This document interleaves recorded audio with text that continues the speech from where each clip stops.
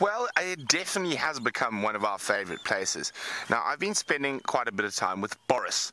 Now, Boris is the crocodile that's been living in Twin Dams. And this is one of the reasons I think Boris moved out. That's Vlad, Vladimir the Impaler. Uh, there we go. Vlad is quite a lot bigger than Boris. Boris is about two and a half meters. I would say Vlad's about three and a half meters, probably having a couple of hundred kilograms extra weight. And uh, Boris has decided that Vlad might eat him, so he's moved on. That is a, a very large crocodile for this part of the Sabi Sands.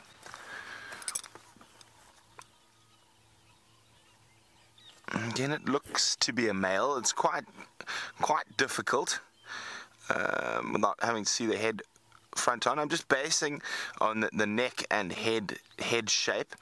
So females tend to be a bit skinnier around the neck, and also their heads not quite as wide, even if they're the same length. So I know there are uh, females here. I was chatting to Armand, who's the one of the guides from Chitwa, and he said at one stage there were there were six crocodiles that they knew about in the dam. So that means we've only ever seen, well, the most I've ever seen here is one. So I'm sure there's others. Now, on a nice cool morning like this,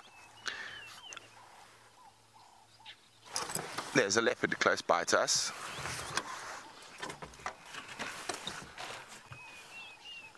Monkey's alarm calling just behind us. Now, unfortunately, that's a spot where we don't have signal at the moment, but hopefully whatever kitty cat that is is going to move towards us. Now we've been tracking two two uh, so many lion names that I'm getting confused. Two Birmingham boys. They unfortunately crossed out of Chitwa Chitwa.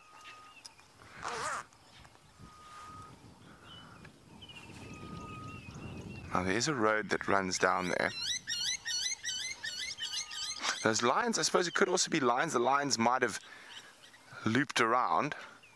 Could be Tandi, could be Tingana.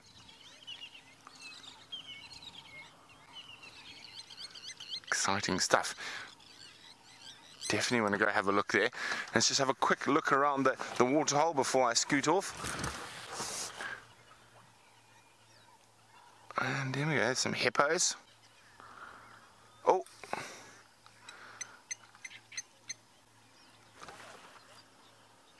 Now Sarah is wondering, will the crocodile spend most of its life in, in this in this waterhole?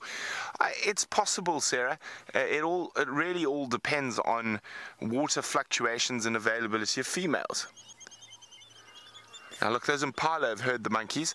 See, that monkey is saying, be careful, be careful, and now these impala are steering in that direction.